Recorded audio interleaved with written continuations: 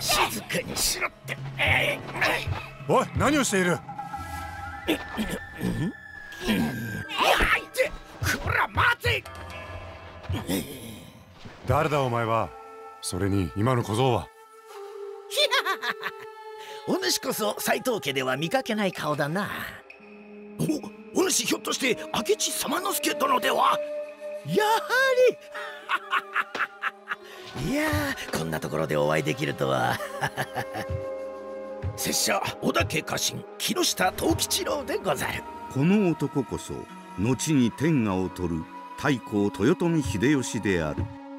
織田家の者がなぜこの稲葉山城に？そんなことより様之助殿お主織田家に仕える気はござらんか？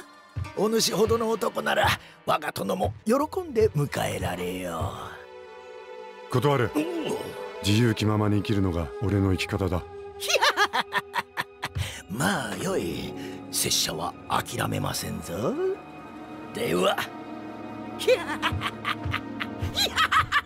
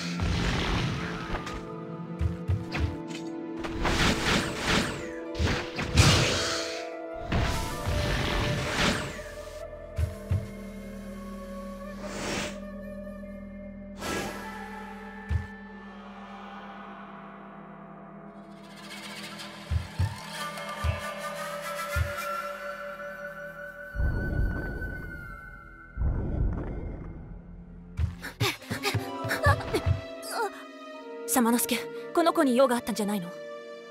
小僧。やだ。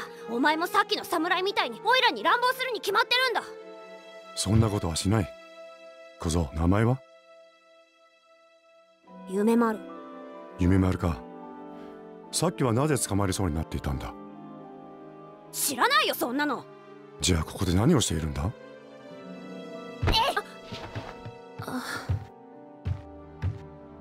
楓夢なら頼む。俺は雪宮を。分かったわ。